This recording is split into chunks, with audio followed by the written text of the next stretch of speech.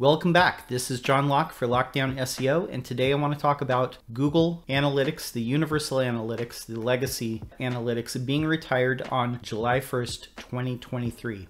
Google announced very recently on the Google Webmaster Central blog that on July 1st, 2023, the old Universal Analytics you are used to using will be sunsetted, meaning that everyone will have to switch over to Google Analytics 4. Now, what this means for most of the people that have not already set up a Google Analytics 4 account means you should do so so you have the data from now until in perpetuity, but at least you'll have a year and three months worth of data. So if you already have set up a Google Universal Analytics tag in the past, you can switch over to Google Analytics 4, provided that you're using Google Tag Manager in the tracking code. And I will show you that in just a minute. However, if you're using an older tag for the tracking code and it'll say Google Analytics object, this older code you will not be able to switch to the Google Analytics 4. What you'll have to do in that case instead is go into your Google Analytics account and look at the specific property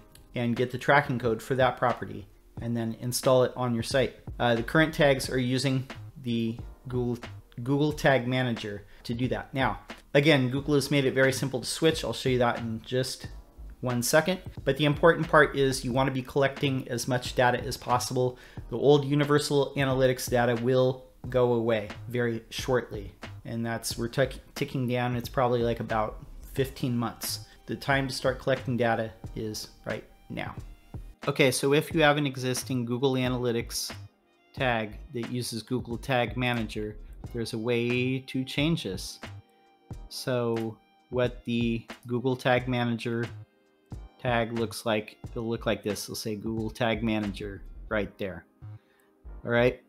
But what you would want to do is go to GA4 Setup Assistant and say, I would like to create a new Google Analytics 4 property. Now, if you already have one and you click down here, select an existing Google Analytics 4 property, if you do not have one, it'll be grayed out and this tooltip will say you have no GA4 properties to connect. If you hit this, get started, it should automatically check this box and it will basically copy your basic settings from your universal analytics property, your legacy Google Analytics. So just say create property and then you can see that there's a new property ID. Go see your GA4 property. And it's all right there. So then you can just go back to reports.